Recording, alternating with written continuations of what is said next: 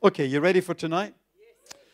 Let's just pray. Father, just help me communicate uh, what is on your heart tonight to your precious people. Father, your word is so precious. Father, we esteem it highly.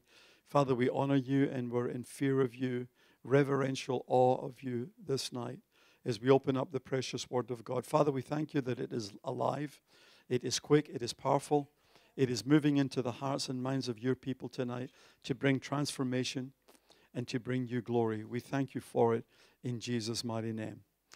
Amen. I, uh, yeah, I'm going to go through a few just highlighted things I felt um, that I, I, would share for tonight. And uh, I started preparing this a couple of weeks ago. There's so much stuff t- that I could probably cover, but I felt like going back to some of these areas because I felt there were just highlights in terms of the, the worship warfare thing. And uh, I want to I want to just read this incident here, and then we'll start. To, we'll get into the New Testament and start to make sense of it, and see that um, that God, the, the, the, area of worship is so powerful that there is there is a redemptive purpose in worship. Um, I don't know if you're aware of this, but but it is so powerful and it, it is so um, valuable to God that when you worship, God will, will visit you in such a way that He will bring redemptive things. He will redeem things that's been lost, that has gone in your life. And I'm going to, I'm going to prove this to you in Scripture right now. It is so precious to God. You know, this is why, um, this is why, for example, Jerusalem, you know, is so precious to God because it's a geographical spot that basically, uh, you know, God's people over the centuries have actually, it's a place of worship. Amen. So it can never be taken by anybody. But this is the reason why. Because God says, I've put my mark on that because my people actually worship there. And where my people have worshiped, I'll always revisit. Amen. Okay, let me let me read this story. I don't know if you're you probably are aware of the story, um, but I'll read it to you. And in my Bible, it's it's highlighted the Dinah incident. Now, Dinah, the daughter of Leah, whom she had borne to Jacob, went out to see the daughters of the land. So she went out scouting around. She shouldn't have. And it says in verse 2, or in uh, chapter 34 of uh, Genesis, it says, Now when Shechem, the son of Hamor the Hivite, prince of the country, saw her, he took her and he lay with her and he violated her. So he raped her. So she went out to, to spy out the land. She shouldn't have. And she, she moved into the territory of Shechem. And so when uh, Shechem's uh, son saw her, um, the son of Hamor, sorry, Shechem, he, uh, he liked her and he raped her. And so it was quite a big, quite a big thing. And, and so um, when uh, Jacob's uh, sons of, uh, heard of this, um, the sons were very upset that their sister had been raped.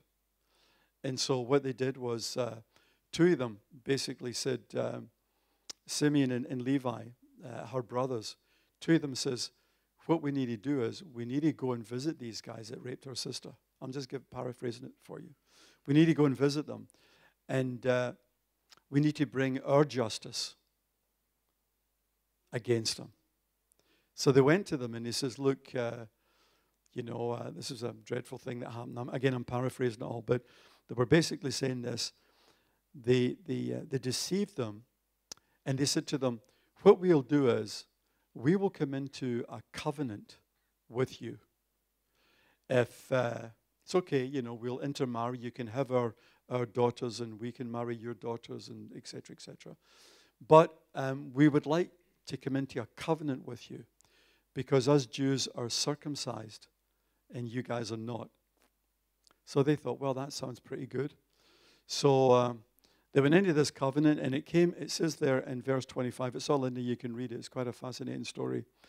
But um, it says there that uh, on the, and it came to pass on the third day when they were in pain, so they circumcised the men in Shechem. And in the third day when they were in pain, the two of the, son, two of the sons of Jacob, Simeon and Levi, Dinah's brothers, each took his sword and came boldly upon the city and killed all the males. They killed all the men. They killed Hamor and Shechem, his son, with the edge of the sword, and took Dinah from Shechem's house and went out. Now, the important thing about this is the geography, because I'm going to talk a little bit about um, how God works uh, with geography. Um, very important to understand this. And so that happened at a place called Jacob's Well. Jacob's Well. Important to remember that. Took place the incident at Jacob's Well. Then uh, Jesus comes along, and uh, we'll pick it up in chapter 4. And uh, Jesus, it says in, in verse 4, he needed to go through Samaria because he wanted to meet this Samaritan woman. Amen. So he goes through Samaria. And, uh, and it says he came to a city of Samaria, which is called Sychar, near the plot of ground that Jacob gave to his son Joseph. Amen. It was the same spot, by the way, that Jesus met the Samaritan woman. Same spot where, you know, the sons had been killed by Simeon and Levi. Amen. So Jesus comes along and he starts to speak, and you know the background. I won't get into the whole background about it. But, um, you know, there's a dialogue between Jesus and this woman, and it says he needs to go through Samaria. He didn't have to go through Samaria. But the point is that Jesus went out of his way to teach on worship. That's a big statement right there. He went out of his way to teach on worship because he was going to teach this woman on worship. So we'll pick it up. Verse 16, Jesus says, Go call your husband and come here. The women answered him and said, I have no husband. Jesus said, uh, You have well said, for you have no husband, for you've had five husbands, and the one whom you now have is not your husband, in that you spoke truly.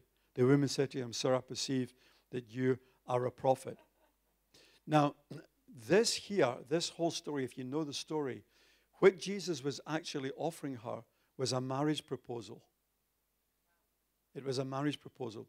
He was basically saying he came to this particular woman, he had to meet this particular woman, and he was basically saying to her, You've, you've, you've known five men already, and now you're with another man, and uh, you've never met the right man. I would like to introduce you to the last man you'll ever have to meet.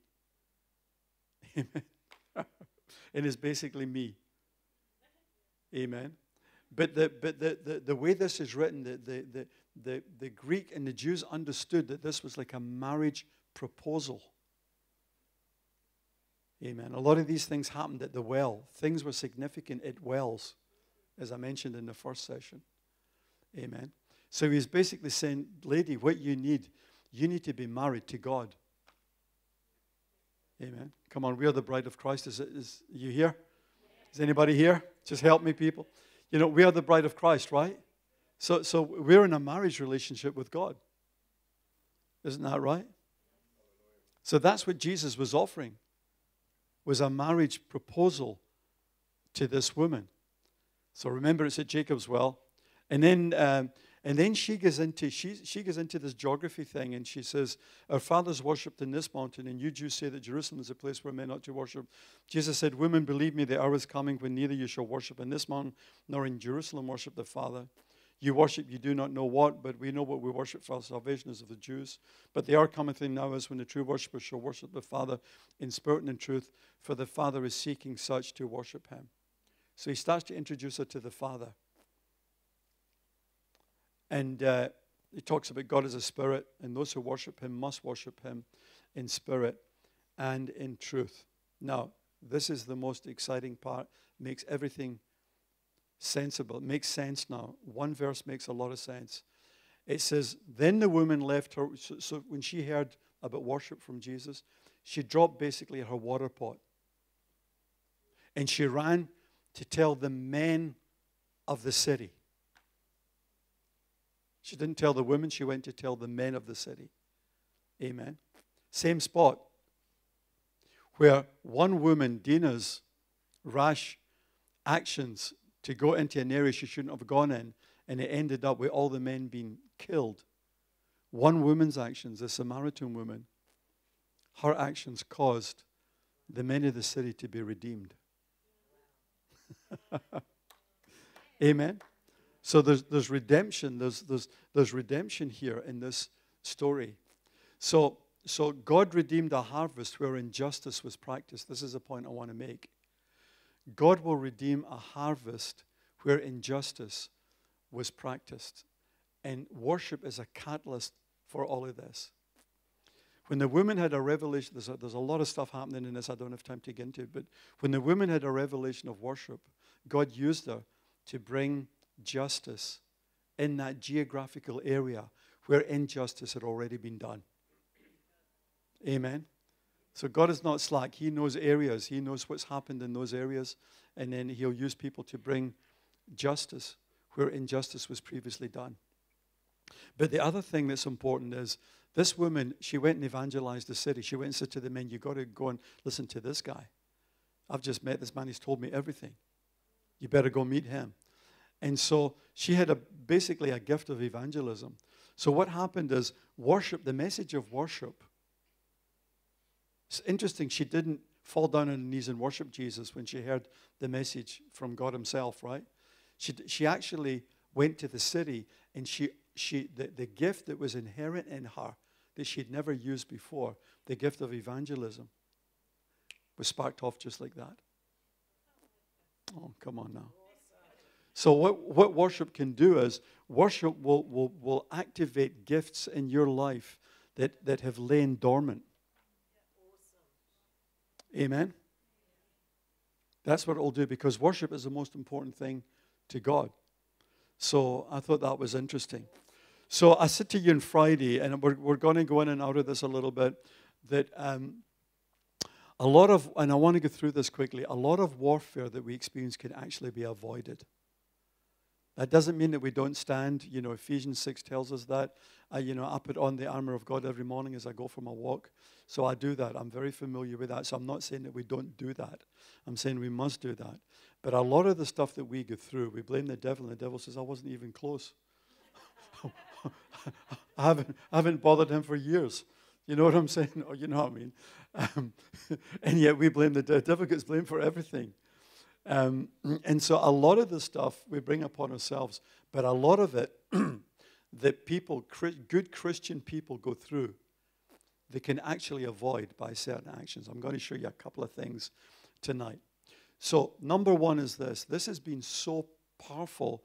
Um, the way God has just um, reiterated this to me just in the last few weeks or months. And when I get something, I'll, I'll meditate on it until I really get hold of it. And, and it's this that uh, the fear of the Lord, the fear of the Lord is something that if you practice, you know, a lot of the stuff that happens to you will stop. I'd love an enthusiastic amen. Just. So, what is the fear of the Lord? This is whenever you read the fear of the Lord in the Old Testament, it is the reverential worship and awe of Almighty God. It is, a, it is the place where you are absolutely in awe of God. Amen. It's the, it, the fear of God is the awe of God. Amen. And so, the, when the world is in the fear of the world system, the church is not going to be like that at all. The church is going to embrace the fear of God.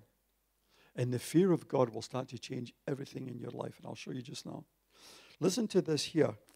I, I preached this in my church uh, probably a year ago, a year and a half ago. And uh, I was amazed when I started researching this.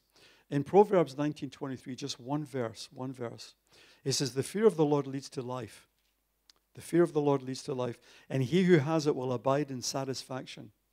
And then it makes this incredible statement, and I've given you a couple of translations here. It says, uh, "He will abide in satisfaction who's got the fear of the Lord, and he will not he will not, he will not be visited with evil. Amen.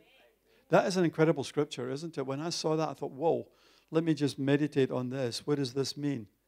And God says, the, the, fe- the fear of the Lord, when you fear me, and see, everything operates in the spirit realm. You know, we don't even know it, but, but everything operates in the spirit. The enemy is very aware of how you operate in the Spirit.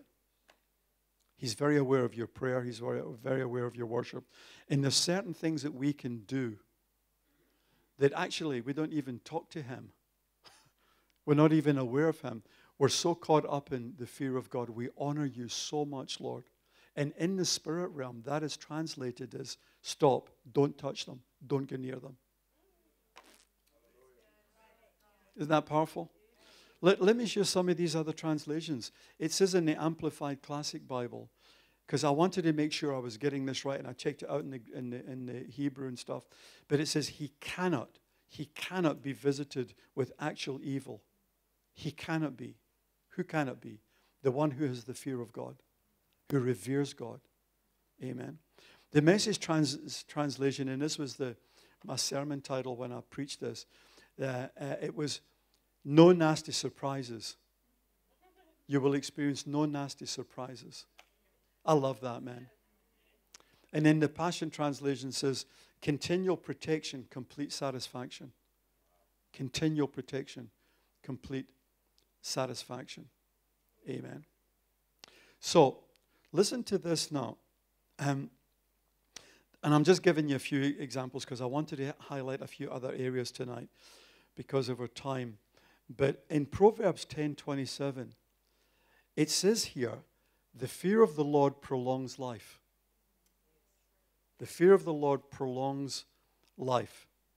The message translation says, "The fear of God expands your life."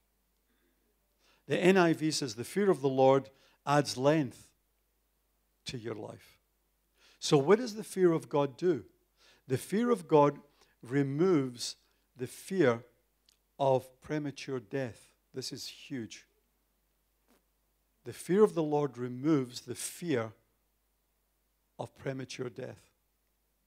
Because a lot of Christians walk around and they hear stories of people dying and they don't know, you know, what it's all about. When I wrote that book, I had a good friend who died young, uh, Kim Clement. He was a good friend of mine.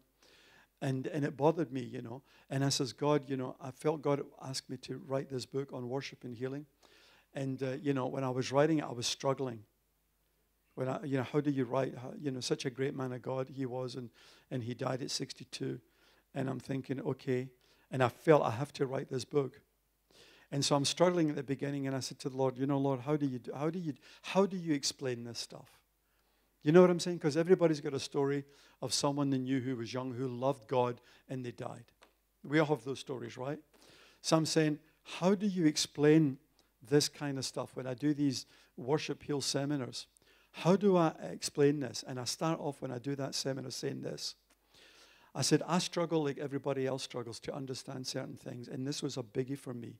It's why Christians would die prematurely. Because that's premature, right? We're supposed to be granted long life. Amen. So I'm struggling with this. I'm just sharing with you from my heart. I'm struggling with this, this whole idea. How, do, how does one explain this? And the Lord said this clearly to me. He says, Tom, do not focus on the things that you don't understand. Focus on the things that you do understand. And I says, okay, what do I understand? He says, you understand what I have written in my word that I'll satisfy you with long life. Do you understand that, Tom? I said, Yes, Lord.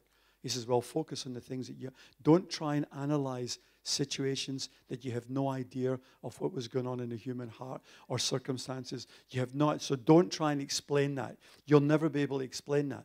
But what you do have to do is to focus on the things that you do understand, which is the Word of God. Amen. Just focus on that. So I thought that was great. But listen to this one because I kind of alluded to this this morning. I do another seminar called Raising a Generation of Worshippers, where I teach, I teach this young, younger generation pre- from pregnant mums all the way through to teens, you know, how we've got to teach them the principles in God. But listen to this. These are some of the things I bring out. Proverbs 14, 26. These are scriptures you've probably all read, but when you meditate on them and you think, wow, wow, look at what he's actually saying here and meditate and meditate and meditate until you actually get it, until it becomes alive in you. Often, you know, when I'm falling asleep at night, I'll often meditate on scriptures just as I'm falling asleep. I'll go over them and over them and over them and over them and over them and over them. And uh, listen to this in Proverbs 14:26. These are things you should be underlining if you don't know them already. It says that the fear of the Lord secures protection for your children. The fear of the Lord secures protection for your children. Amen. Isn't that good? The message translation says, The fear of God builds up confidence and makes you and makes a world safe for your children. Amen.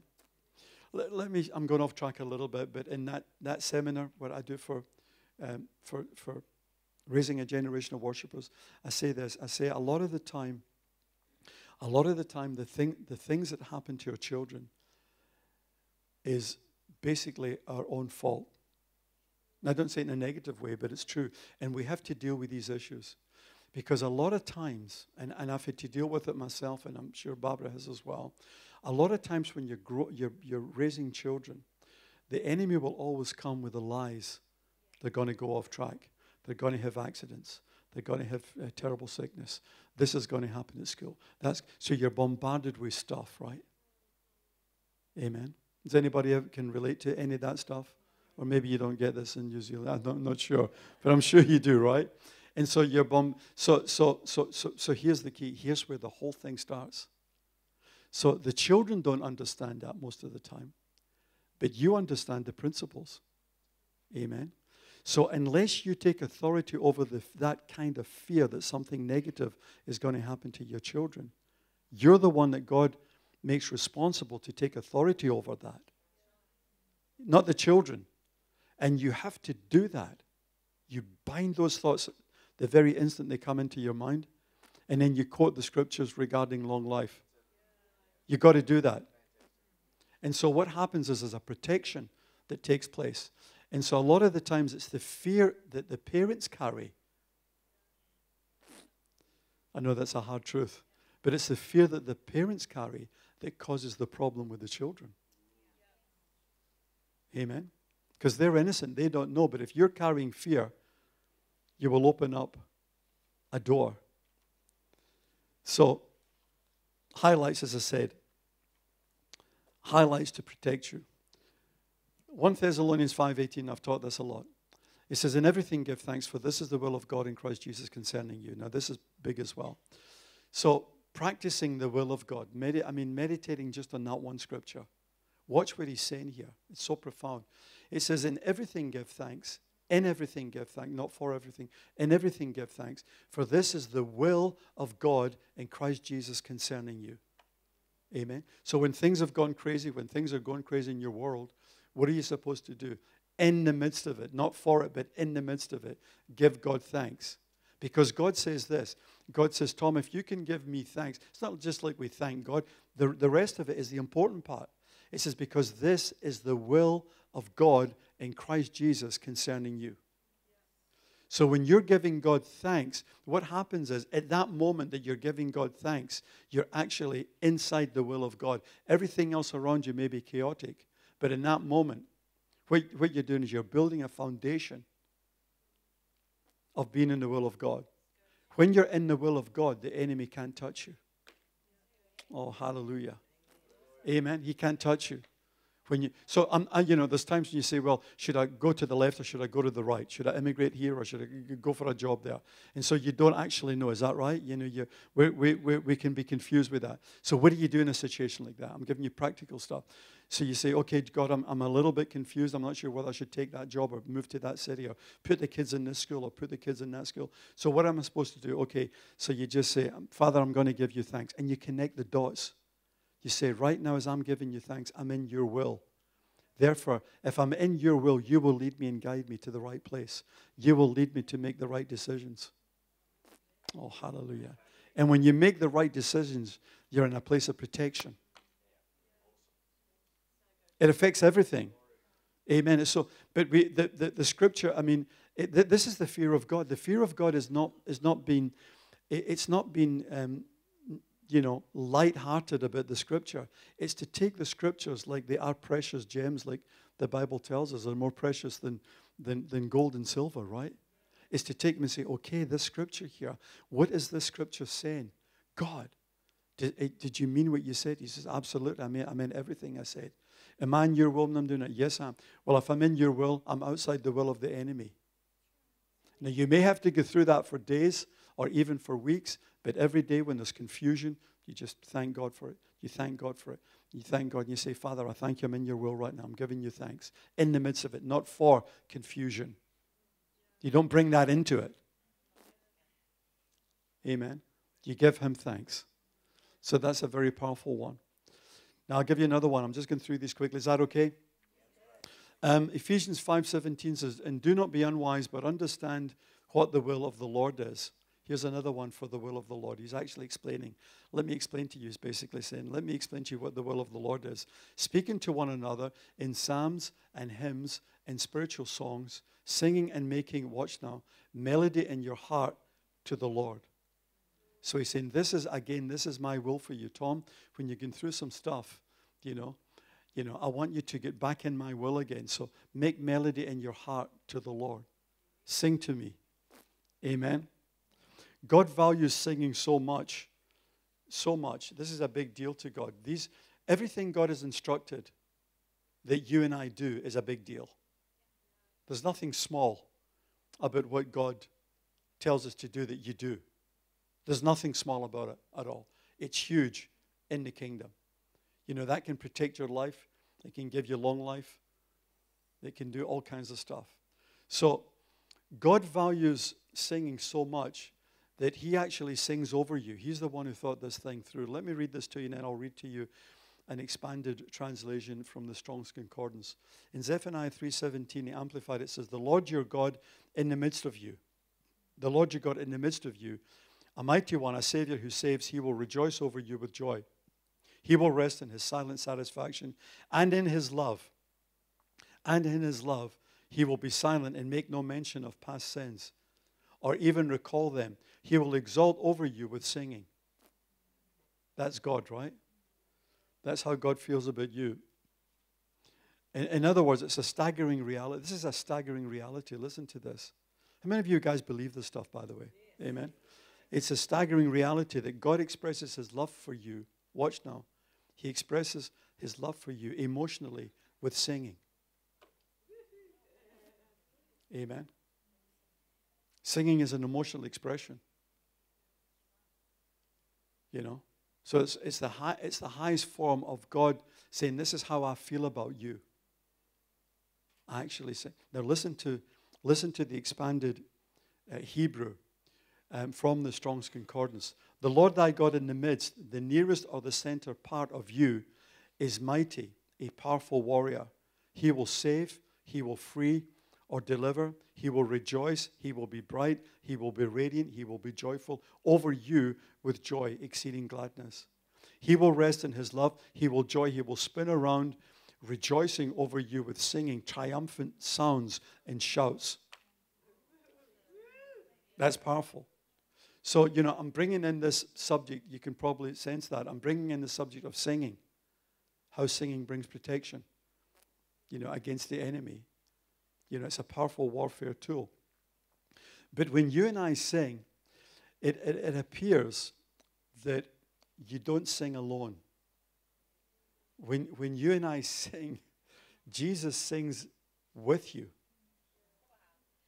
Listen to what it says. Hebrews 2:12 I will declare thy name to my brethren in the midst of the church I will sing praise unto thee. So so so but you have to know this, right? So if you don't know these things, if you don't connect these dots, you'll never know, right? So you'll just sing and you'll think, well, there's nothing happening here. I'm just doing my best singing, but that's not actually what's happening. If you know, if you can connect the dots, you won't forget this ever. If you can connect the dots that when you sing, Jesus is actually singing with you. So the enemy doesn't hear a solo, he hears a duet. Hallelujah. Amen. In some mystical way, although you know Jesus is at the right hand of the Father, in some mysterious, some mystical way that we don't understand, he joins us when we start to sing praise. Hallelujah. Now that and again, everything is, is in the spirit realm, right? So in the spirit realm, it's like, whoa. Listen, you know when Jesus was teaching his 13 year olds in the temp- 13 year old in the temple, they were astounded, the guys. They were not astounded because he could interpret the scripture. Every kid at 13 in those days knew the scripture. So that wasn't the big deal. What blew them away was this kid, if I could use that expression reverently, this little boy, he understood how to connect the dots that the scriptures would make sense in terms of lifestyle. This is life. They were hearing life. He could connect the dots. We have to connect the dots We don't just read stuff. We have to meditate, connect the dots. Take every scripture with weight. This is weighty stuff. This is for me. So when I sing, I don't sing alone. The, in the spirit realm, the enemy says, I'm hearing another voice. That's not just the voice of Tom, that's the voice of Tom and Jesus. A little more enthusiasm would have been great. No, I'm just kidding. I'm just kidding. So there's a a strong possibility when we sing the voice of the king is heard. Amen. So there's two kings of singing. You're a king and a priest, and then he's the king of kings. That means there's, there's, there's tremendous authority is heard in the spirit realm when you sing. There's two kings singing. there's you and him. Amen. The authority that is released. But if you know, if you connect the dots, if you don't connect the dots, you just sing, man. And you don't know because we've never read that scripture through and really understand what it means, or we don't believe it because it sounds a little, you know. But it's true. Amen. Now, now this is the sound that changes things. This is the sound that changes things. It changes circumstances, it changes atmospheres, it changes churches, it changes towns, it changes nations. It's the voice of agreement between kings. Amen. It's the voice of agreement. It's the voice of agreement between kings. He's the king of kings, and you're a king. God says, I can't do any better than that in terms of getting kings together. You know? But when kings, and what, what we sing is the victory.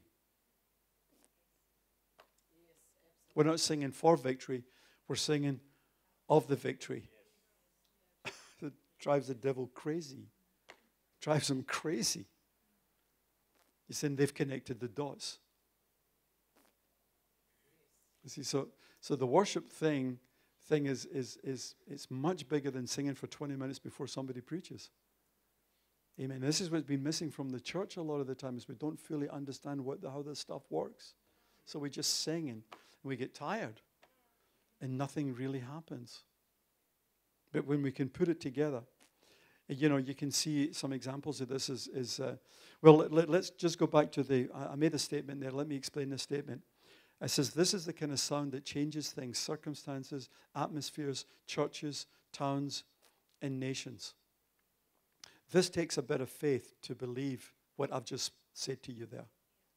But you know, when when Jesus was speaking to the Samaritan woman, and uh, and she brought up the subject, she says, "Well, you know, you Jews, you actually worship over there, which is Jerusalem."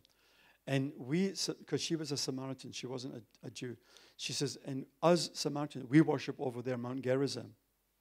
So she brings up the subject of geography. We worship there, you Jews worship there. So Jesus sorts that thing out very quickly. He says, Well, there's coming a time when you shall neither in Jerusalem nor Mount Gerizim worship, but you shall worship the Father in spirit and in truth. What Jesus was saying was this lady, there's coming a time when it doesn't matter the geography where you worship, because geography has now become subject to worship. Worship is not subject to geography. Amen. You don't have to go there to worship or go there to worship. So, wherever you, what he's saying here is, lady, wherever you worship, in that place, you change the spiritual atmosphere in that place. Amen. That spiritual forces that has dominated that area, possibly for years and years and years, those spiritual forces come under the authority of the worship that is released in that place if you know how to connect the dots if you know what's happening in the spirit realm, because everything, remember, is happening in the spirit realm. Amen. Very, very powerful. So I'll say that again. So he's, he's, not, he's, not, say, he's not saying that, that worship becomes subject to geography. He's not saying that. He's saying geography becomes sub, subject to worship. Amen. It's very powerful. So Jehoshaphat, I'll give you a couple examples. Jehoshaphat identified the army who were, uh, there were, it's interesting here. There's, there's an argument that this guy uses, uh, Jehoshaphat, King Jehoshaphat, when he starts to sing. The argument is a profound argument. I'll read it to you quickly. It says, without getting into the background, Second Chronicles chapter 20 and verse 11, it says, How they are rewarding us. This is the enemies coming against them, right? How they are rewarding us by coming to throw us out. Now, watch this. Underline this in your Bible. He says, The enemy's coming against us. He doesn't say here, he's talking to God, he doesn't say, The enemy's coming against me and the nation. He says, The enemy's coming against us. Amen. In other words, he's saying, God, the enemy's coming against you and me. So he's drawing, he's drawing God into the fight. Amen. Listen to what he says. He says, How they are rewarding us, coming to throw us out of your possession. He says, The enemy's coming to throw us out of your possession, which you have given us to inherit. The argument he's using is this he's saying, God, the enemy is coming to kick us out of the inheritance that you've given us. That can't happen. In other words, God, we're in covenant, you're involved in this fight. That, I'm not doing this alone. And, and the, the Bible goes on to tell us that. That I'm not in this alone, I'm in this with you. He's basically saying, Come on, God, you know. In the natural, I don't know how to get through this. But, but, but the enemy cannot steal our inheritance. Our inheritance. Amen? Because when you and I come into the kingdom, which God is, is ours and which ours is God's, right? This is why, man, we, we, you know, when God asks us for 10%, we should give it with joy. Come on, man. We shouldn't be struggling to tithe. We should be joyful in tithing because of the inheritance thing. Because then we don't want to go back to God and say, okay. So, so God says, okay, but I only asked you for 10% and you struggled with that. Now you're asking me for everything. You know, this is not fair. Do you know what I'm saying? God doesn't say that, but you know what I mean, right? So, so but, but this is all where it is. But then if you know you're doing that, then you've got a very strong point saying, you know, I've done my part, but God, now you do your part. Now, what is your inheritance? Your inheritance is every promise that God has given you in the Bible. Amen. That's your inheritance. Your inheritance. So, and, it, and, then it goes on and it says, so what happened? It says, so it says, and, and so God instructed them, and when they began, watch this, when they began to sing and to praise, the Lord sent ambushments against Mount Ammon, or Ammon, Moab, and Mount Seir, who had come against Judah. So, so it's interesting, the word there, when they just began to sing. They didn't have to drum it up, they didn't have to wind up the congregation to get in the spirit. If you know the principles, you don't have to wind them up to get in the spirit. That's why we should come to church ready to praise and not be wound up. No, I'm not saying you do, but you know what I'm saying? A lot of churches, we wind them up, get them in the spirit, man, so they can praise the Lord. It's ridiculous. David, that was foreign to David. I mentioned that on Friday. He praised as a, as a response to God's presence, not to get God's presence. That would have been ridiculous to the Old Testament saints, to David. God was already there. We're not trying to get him, we're trying to respond to him. Amen. And so that's very, very powerful. So as soon as they began to sing, as soon as they just begun, the Holy Spirit acted in the spirit realm. Singing was enough to activate warriors, angelic hosts in the spirit realm to come against the enemy that was coming against them. Oh, hallelujah. So, so listen, so they needed mercy. And guess what they sang? Praise ye the Lord, for his mercy endures forever. Praise ye the Lord, for his mercy endures forever. That was it. Praise ye, there wasn't you know 15 choruses, 15 verses we all got to try and remember. Praise ye the Lord, for his mercy endures forever. The point is this you get the results that you sing about. All they needed was mercy. So they're not going to go and sing about something else because it wasn't relevant. Amen? So I'm going to say that again because some of you get a little bit distracted there. So, so what result do you want? That's what you've got to sing. Okay? Eh? What result do you want? That's what you've got to sing. Amen. There's a principle right there. What do you guys need right now? We're surrounded by these. We need your mercy. We don't know what to do. Well, sing it, man. That's basically what God was saying. Well, sing it. They could have said, But God, why don't you just do something? God says, Well, I've put principles in the earth, and singing is one of them. If you just sing, that's a principle I put in there. That the, the angels will respond to that. and they'll come against, and you don't have to do it for long, guys, because just do it. The enemy's right there. Just do it. So they began to sing. They just began to sing, to sing. And the enemy came up against them and defeated all of them. In fact, they picked up the spoil. Um, so if you read through there, they picked up spoil. They, they, you know, they, it took three days in gathering up the spoil from the enemy. So, so effective warfare will always bring spoil into your hands. I want you to see this. This is how God works. God says, don't think for a minute that effective warfare will just ward off the enemy.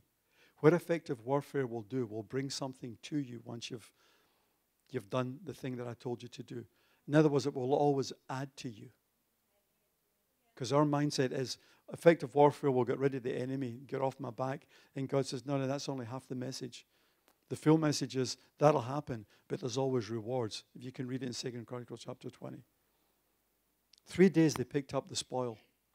They picked up the gold and the riches and the, you know, other jewels because the whole enemy was wiped out. Not one of them remained. Not one of the enemy remained. When God does warfare on your behalf, if you and I do these simple things, He will do it completely and totally. He will destroy every trace of the enemy that's coming against you. I'm preaching good to myself because I'm really get, you know, I'm getting this, I'm getting it fresh again from myself. You know? So, is this okay? We're going a little bit, a little bit longer. Um, so, I've got a few points here.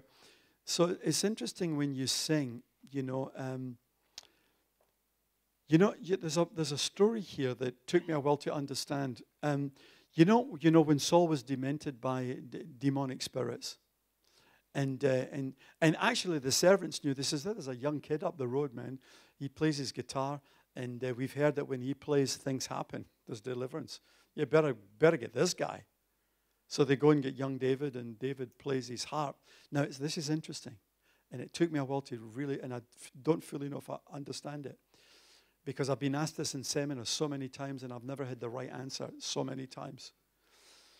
So the Bible clearly says there clearly says that when David played with his hand, the demonic spirits left Saul.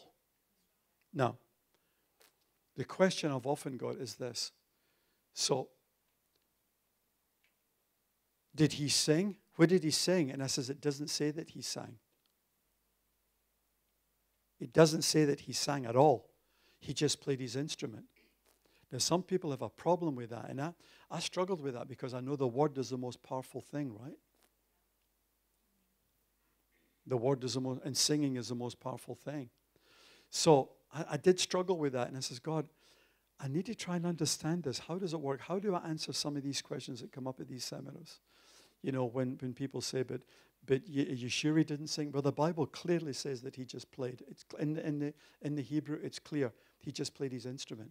So in the spirit realm, the demons somehow responded just to the playing of an instrument. It's quite profound, you know. But then you go to the New Testament and you get the answers. I think you get the answers.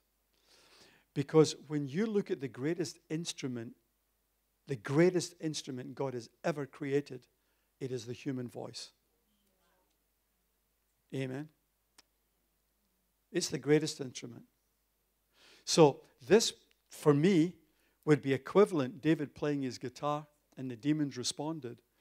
The equivalent for that for me, my only understanding, maybe I need to get more understanding, and I'm sure I do. The equivalent for that for me would be singing in the Spirit. Amen. Singing in the Spirit. Demonic forces will leave. This is why it's so important to sing in the Spirit. Just make melody in your heart. That's what that's talking about. Make melody, melody inside. Amen. Have a melody inside. It's the greatest instrument known. And I believe that's equivalent to what happens when you start to sing in the Spirit or even just talk in the Spirit, but there's melody there. Demonic forces, they interpret that as get out of town. Let's go somewhere else. Does this make sense? Amen. Because a lot of people will say, oh, that's singing the Spirit. You know, that's crazy stuff. It's crazy. It's crazy good. You know? And so let me just go through another one, uh, um, and I'll just explain to you what happens here. So, so um, I've already said sing the results that you want. Here's another one, slightly different. And it's in, in Acts chapter 16, it's Paul and Silas. And at midnight, Paul and Silas were praying and singing hymns to God, and the prisoners were listening to them. Suddenly there was a great earthquake, so that the foundation of the prisons was shaken, and immediately all the doors were opened, and everybody's chains were loosed. So Paul and Silas are in jail. And it's midnight. It's midnight. It's midnight. And they've been beaten up.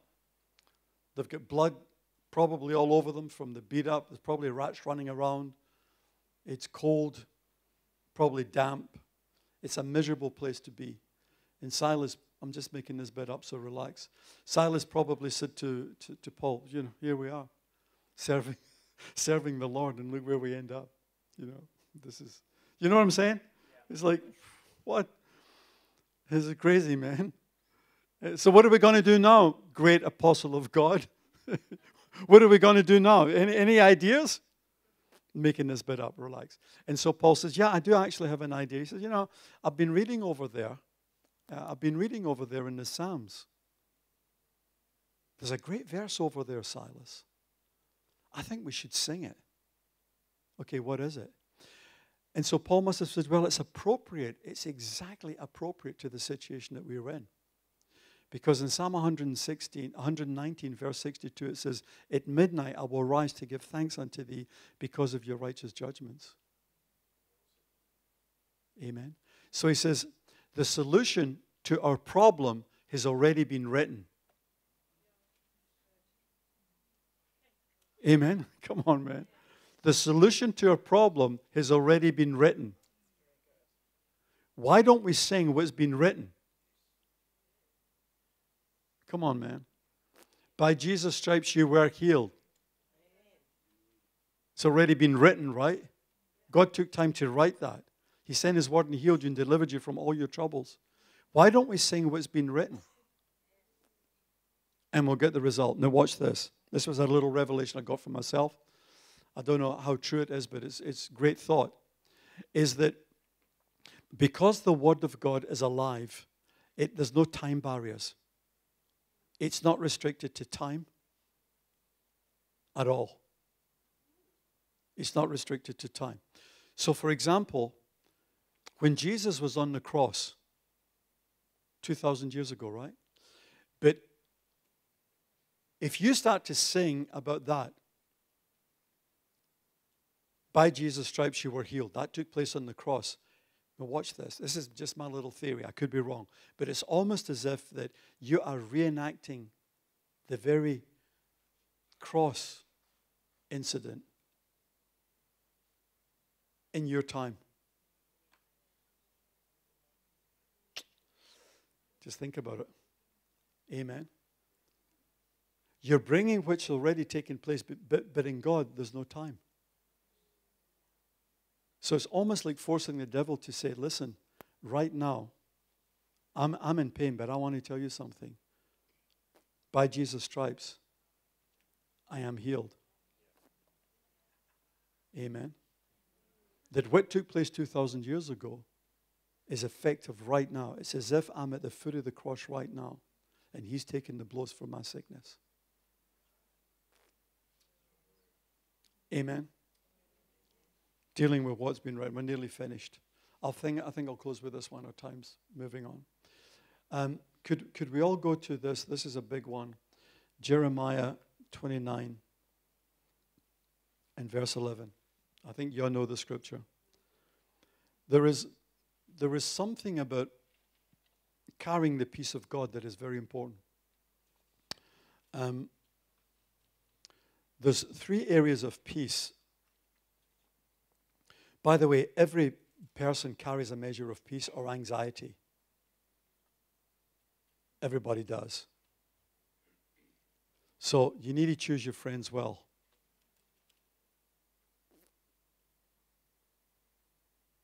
Amen. You can't be you can't be messing about with people who are anxious. You've got to choose your friends well. You may say, Well, I've got to befriend them. They're not a friend to you. You've got to choose your friends well. This is really, really important. Number one, you've got to have peace with God, which is spiritual peace. You've got to have peace with yourself, which is emotional peace. And you've got to have peace with people, which is relational peace. Now, getting back to this last scripture, and we'll close. In Jeremiah 29 11, it's a portion of scripture you're probably all familiar with. It says there, I know the thoughts that I think towards you, says the Lord. That's in present tense. That's not in past tense. That's written in present tense. So God says, I know the thoughts that I'm, you could say, I'm presently thinking about you, Tom. Amen. Okay, so what are you thinking about me, Lord? And he says, thoughts of peace and not of evil. Amen. To give you a future and a hope. So watch this now. So say, okay, God, what's happening right now? God says, I'm thinking about you. In fact, there's never a microsecond when He's not thinking about you. If God forgot about you for a microsecond, you'd be lost for an eternity. Amen. So, so God is so so God is thinking about you right now. So, okay, it's a great question. So, what is God thinking about right now? You, regarding you. Right now, as we stand here in real time, what is God thinking about right now regarding you? Well, it's there. He says, I'm thinking of peace. What? We think about all kinds of stuff, but God says, I'm thinking about your peace right now. I'm not thinking in the past tense or in the future tense, I'm thinking in the now tense.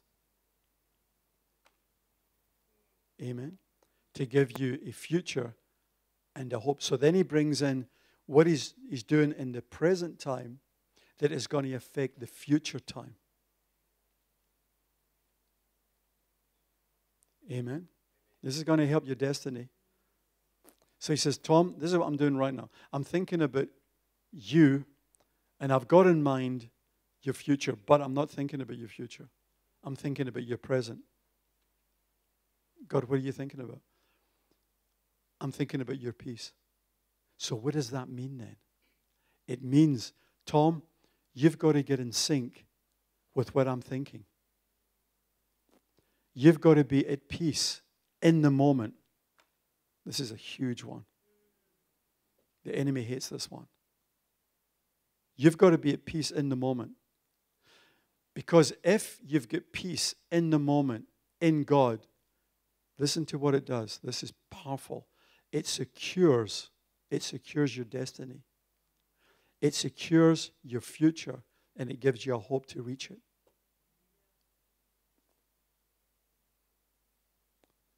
Hallelujah.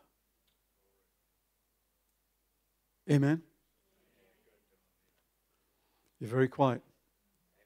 So, so a peaceful state is a most profound state for the enemy to be inactive in your life. The peace of God that passes all understanding. This doesn't make any sense to anybody in any realm except God's realm. The enemy doesn't under how can this guy have peace? How can this woman have peace in the midst of a world that's gone crazy? How how how see this is what the devil's trying to do. He's trying to steal your peace. All this stuff, this crazy stuff that's going on, he's trying to steal your peace. And if he steals your peace, you don't have a future. Amen. So if you've got peace in the present and you maintain that peace in the present, what happens is God starts to line up. He starts to line up circumstances, situations that will take you towards fulfilling destiny. He'll bring people across your path. I've seen it in my own life to get this message out to the, to the nations. When there was no internet, people came across my path. I saw it in that book.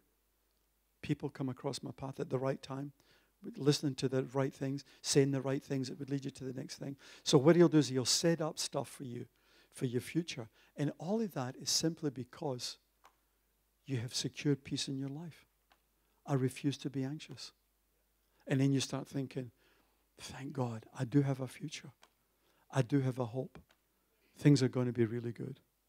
In Jesus' name. Let's stand. Hallelujah. Amen. Thank you, Jesus. I'm just going to have a quick prayer over you, and then I'll hand it back to Pastor. I want to first, first of all thank you for coming out on a Sunday night. I know that the church doesn't normally have Sunday night meetings, so thank you so much for coming out tonight. Father, in the name of Jesus, Lord, I'm asking you just to imprint in our hearts and our minds, Father God, these uh, principles. These principles, Father God, that, uh, that the enemy is stopped in his tracks if we just apply some of these simple principles. We don't have to be warring. We have to stand, yes. But if you apply some of these principles, you'll start to see that the enemy will back off. Your children will be secure. You'll have a, a feeling of your children is going to be secure. Your grandchildren, everybody is going to benefit in your circle. One person can make a difference in a family, in a church, in a generation, in a city. People can make a huge difference. But we've got to have that peace. Hallelujah. Just lift your hands and just say, Thank you, Lord. Thank Him for peace right now. Thank Him for peace. Thank you, Father, for your peace right now. Father, I just ask you, Spirit, embed these words in our minds and our hearts and let them bring forth life. Let there be a harvest that they bring forth in Jesus' mighty name. You shall know the truth, and the truth shall set you free. There's nothing greater than the truth. It's the truth that sets you free. Amen. If you can take these truths, there will be a massive change in your life. We thank God for it. We thank God for His word. We thank God for the reverence that we have for Him. I sense that reverence this morning in this house. We thank Him for it. In Jesus' mighty name. Hallelujah. Amen. Thank you, Pastor. Thanks for watching Victory Christian Centre. For more content, please subscribe to our YouTube channel or you can subscribe to our podcasts on Spotify, iTunes, or Google Podcasts. Check out our website at victory.net.nz. We'll see you again soon.